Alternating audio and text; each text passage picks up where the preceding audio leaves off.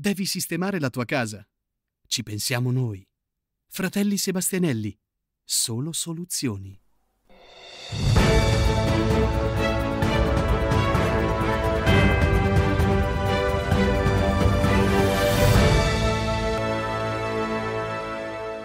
Buongiorno da Giulia Mancinelli. In primo piano il maltempo. La protezione civile regionale ha emesso una nuova allerta arancione per criticità idraulica, idrogeologica e temporali valida per tutta la giornata odierna. L'ingresso di aria fredda di provenienza atlantica porterà precipitazioni consistenti, in particolare nel settore centro-settentrionale della regione, con rovesci localmente intensi.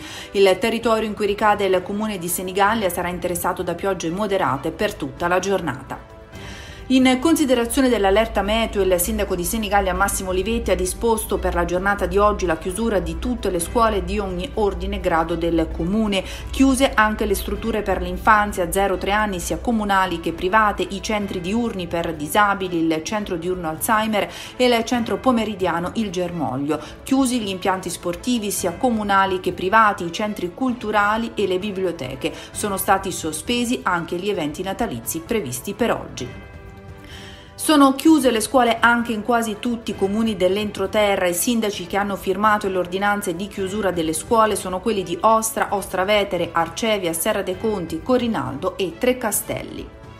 Ed ora la cronaca, un quarantenne di Tre Caselli è stato denunciato per furto e indebito utilizzo di carte di credito. L'uomo si è introdotto all'ospedale di Senigallia rubando il portafogli di una paziente, utilizzando poi la carta di credito per una spesa di 800 euro. Ad accorgersi del furto è stata la donna che ha denunciato l'accaduto ai carabinieri.